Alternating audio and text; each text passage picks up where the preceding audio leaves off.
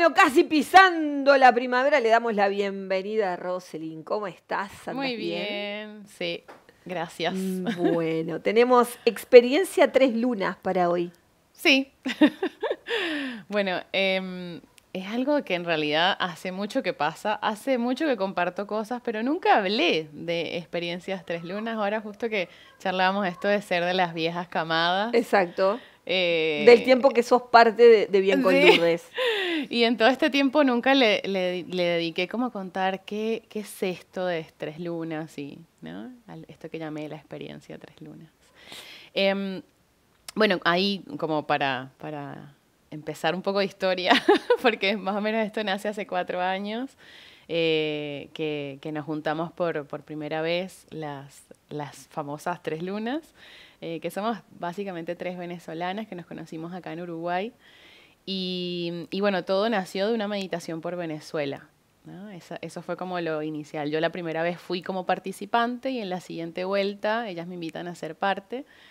Y, y bueno, de ahí dijimos, ¿y si esto sigue por el país que nos está recibiendo a las tres? Y dijimos, sí. Y de ahí hace cuatro años, ¿no?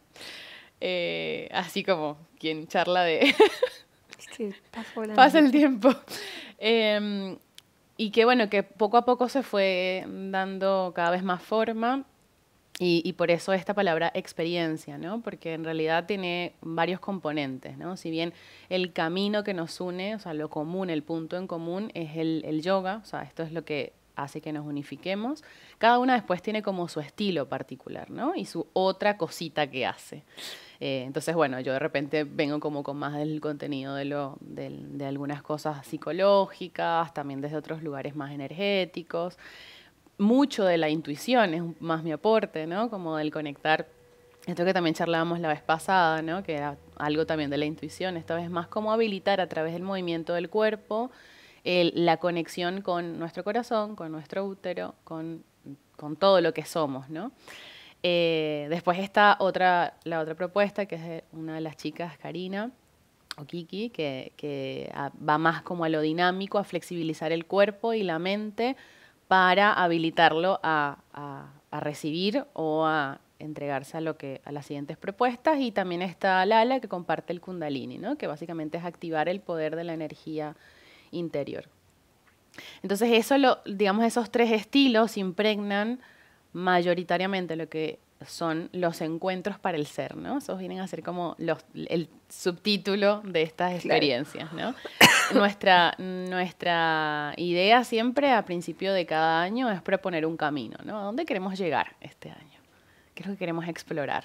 Y después mes a mes vamos compartiendo el propósito de cada mes, ¿no? Entonces lo titulamos. Por ejemplo, el mes pasado, en agosto, trabajamos la vibración y este mes en septiembre, que, que iba más como por la energía de Virgo y, y la estructura, dijimos, trabajemos la flexibilidad. Entonces, así como que cada mes tiene una, una chispa y este año el propósito es llegar a, a conectar con qué es lo que nos hace sentir y ser libres, ¿no? Claro.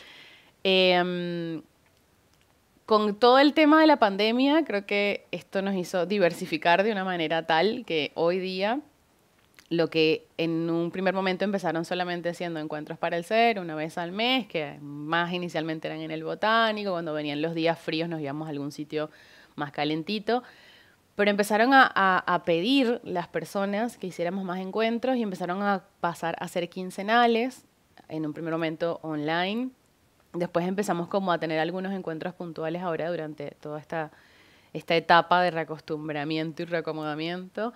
Y, y bueno, se empezaron a dar también como tal clases eh, de lo que viene a ser, se conoce mucho como yoga on demand, ¿no? Como las clases grabadas de yoga, que, bueno, que generamos como todo un pack también, ¿no? El, el hecho de, de ser parte de lo que nosotros decimos la tribu lunera te hace también acceder a las clases en el mes, que son 12 clases en el mes con todos los estilos de yoga, a todos los encuentros de, de- que están propuestos para el mes, que son generalmente dos, y si es presencial uno, y después descuentos en las otras actividades que hacemos, ¿no? La, la mayor intención siempre con todo lo que hagamos, eh, que también a veces son- hay festivales, a final de año hacemos los Sí, retiros, los retiros, claro. Eh, la idea siempre es que nos permita encontrarnos a cada persona que participamos con nuestro propio ser. ¿no? Si bien son, son propuestas, propósitos, intenciones que están planteadas desde un principio de año, va transformándose y va tomando forma. Y cuando llega el momento de, cada encuentro, por eso la palabra experiencia, tres lunas, en realidad puede pasar de todo. Eso, esa energía del grupo puede llevarnos a otro lugar, a, decir, pa, esto capaz, ¿no? Hagamos modificaciones acá. Eh, el grupo de repente pide otro orden también de las cosas, eh, porque son como tal cosas que van sucediendo y que la energía del momento lo va moviendo. Em, la idea es que cada persona que acceda a estos espacios, aunque nuestra intención es que las personas tengan un lugar para encontrarse con el yoga.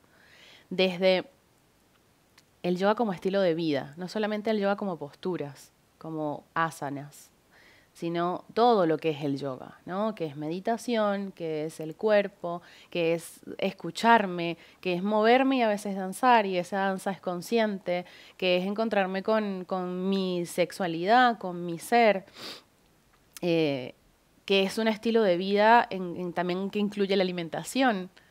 Entonces, eh, el cómo me relaciono también con, los otros. Y desde ese lugar abrimos como un campo mucho más grande de traer a, nuestro cotidiano, que es el, yoga, ¿no? que está por allá como lejos, siempre lejano a nuestra cultura. Y creo que este, esto de, compartir lo que hacemos ahí eh, juntas abre, abre la posibilidad a muchas personas que de repente no se quieren acercar porque, no sé, yo no, nunca hice yoga o el cuerpo está así o lo que sea y, y siempre hay una posibilidad para cada uno. Sí, tipo, no voy a, ahora, ahora no voy a empezar que ya tengo tanta edad y capaz que no puedo hacer, no sé, Exactamente. determinada posición del cuerpo. Y, y, no solo pasó por ahí. Exacto, va mucho más allá. Y también, si eres practicante de yoga, que esto sea una posibilidad para que puedas profundizar en determinadas cosas, ¿no? En determinados títulos, ¿no? Porque hay mucha gente que lo utiliza para profundizar en, aspectos más, más específicos de sí mismo. Creo que otra cosa muy importante también es que dentro de esto de que llegue a todos, eh, siempre estamos generando como actividades que tengan eh, pases libres. Generalmente el año iniciamos con una actividad que en yoga se llama Karma Yoga, como eh, que es gratuita, o que recauda fondos para alguna fundación, para alguna persona que esté necesitando. pero durante todo el año tratamos de ser cuidadosas como de los costos para que todo el mundo pueda acceder, de verdad. Entonces tenía muchas ganas de traerlo, así de, compartir con, contigo y con las personas que nos ven de, este, de esto que hacemos, que, que es de vida, de vida ruca, que viene de la historia de vida consciente, pero que también se teje con, estas alianzas que, está hacemos. como todo junto. Exacto, Claro. Y que también eh, es como, yo creo que es, un, así como vos lo llamas experiencia, es, es un viaje proponerse de repente un año. Estamos en septiembre y yo siempre digo que para mí octubre, septiembre octubre son meses como muy importantes. No sé si es porque yo cumplo años en esa época, ¿no? Cumplo en octubre. Pero para mí es como que acá a esta altura del año es como el año se termina. O sea, hay, una cosa así que me genera decir de cierre y lo que me propongo para el próximo año, casi siempre. Y está bueno de repente proponerse cuando uno habla de cosas diferentes. Yo muchas veces digo, animate a hacer algo diferente. No, animate a hacer algo diferente. Animarse a, bueno, a, empezar a participar de, de, estos, sea de estos encuentros o sea de otros, o sea, teniendo en cuenta todo, pero animarse a hacer algo que de repente nunca investigaste. Mm.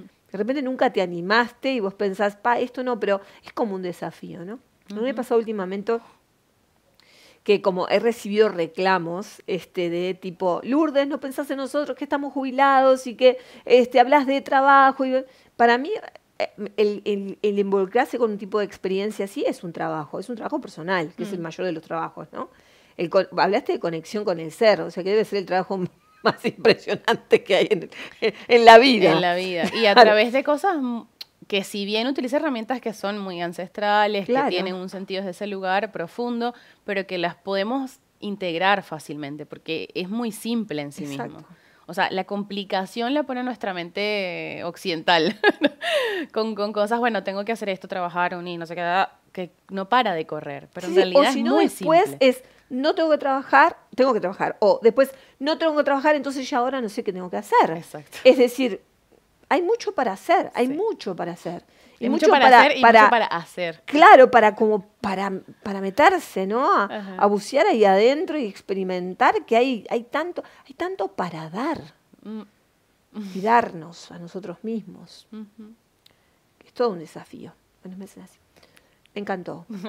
Gracias, Gracias como siempre, ti. Roselín. Gracias. Y bueno, las redes de Roselín están siempre y están siempre muy activas, o sea que hay que, hay que, hay que seguir a, a esta, a esta señora. Gracias. bueno, nosotros continuamos.